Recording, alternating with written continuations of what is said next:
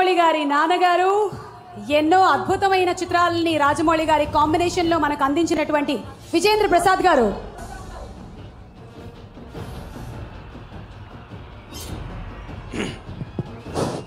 Sir welcome sir. వెల్కమే కానీ ఒక అబద్ధం చెప్పావమ్మా నువ్వు. నేను అబద్ధం చెప్పానా? చెప్పావు. చెప్పానా?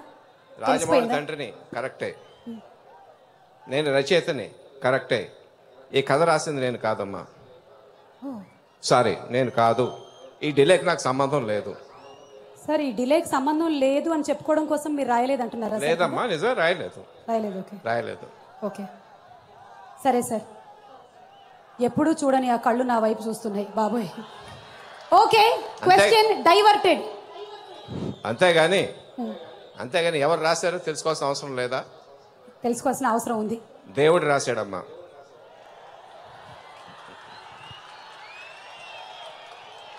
ఎందుకు రాశాడో తెలుసుకోవాల్సిన అవసరం లేదా? ఉంది సార్. సృష్టి దగ్గర నుంచి చెప్పాలమ్మా అప్పుడు నీకు. చెప్పండి సార్.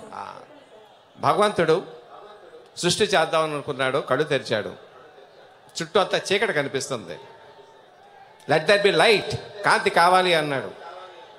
కాంతి కనిపించడంలా. ఎక్కడో ఎక్కడో ఉంది ఎటు చూసా? చీకటిగానే ఉంది. ఎక్కడో చూస్తే చీకటిలో ఒక పిల్లోడు కనిపించాడు. చీకటి అంతా నల్లగా ఉన్నాడు. ఆ కాంతిని బాల్లా చేసి దాంతో ఆడుకుంటున్నాడు. దాంతో రకరకాల లైట్ అండ్ షేడ్స్తో ప్లే చేస్తున్నాడు. ఓ ఫోటోగ్రాఫర్ దేని మీద అయితే కమాండ్ కావాలి లైట్ అండ్ షేడ్ మీద ఆడుతూనే పిల్లోడికి సంపాదించేశాడు. ఆ పిల్లవాడిని చూస్తే దేవుడికి ముచ్చటేసింది. సెందిల్ అని పేరు పెట్టాడు. భవిష్యత్తులో బాహుబలి అనే గొప్ప సినిమా రాబోతుంది. దాన్ని డిఓపి చేసి ప్రపంచంతా ఖ్యాతి పొందమన్నాడు. నెక్స్ట్ దేవుడు సృష్టి మొదలుపెట్టాడు. ముందు శాంపుల్గా వంద ఏనుగులు వంద గుర్రాలు వంద నెమిళ్ళు వంద చిలకలు చేశాడు. మట్టితో చేశాడు. దాన్ని ప్రాణం పోద్దాం అనుకున్నాడు. కళ్ళు మూసిన ఒక క్షణపాటు ధ్యానించాడు. ప్రాణం పోద్దామని చూస్తే అంకి తేడా వస్తుంది. వంద కన్నా ఎక్కువ ఉన్నాయి.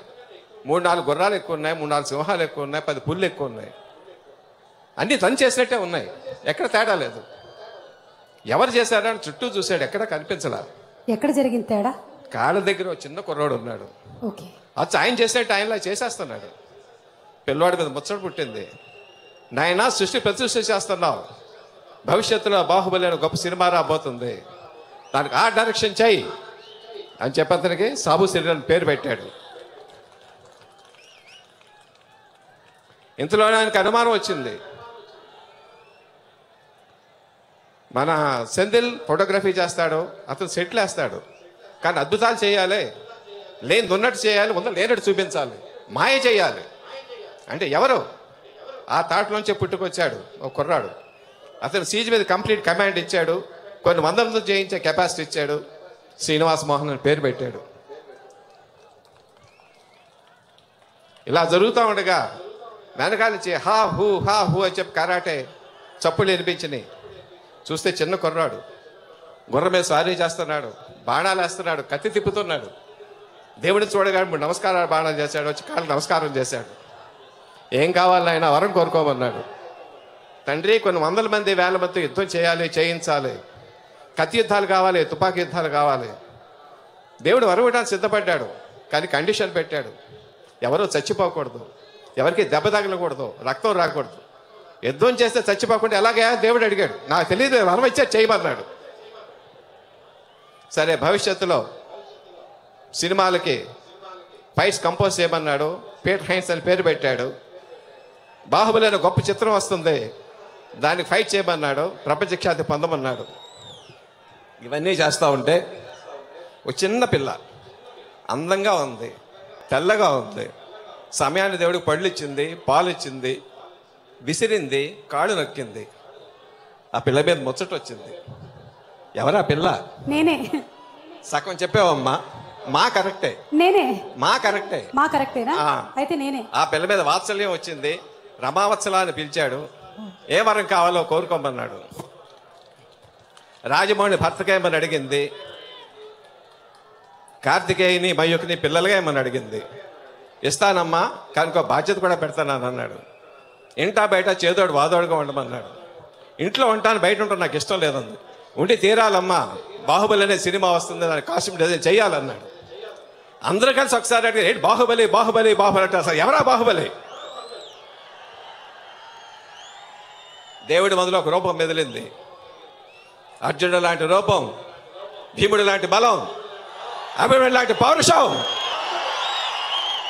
రాముడు లాంటి గుణం. కృష్ణుడు లాంటి సంమోహనం. ఆ పిల్లవాడికి పేరు పెట్టాడు. ఏం పేరు పెట్టాడు? ప్రభాస్.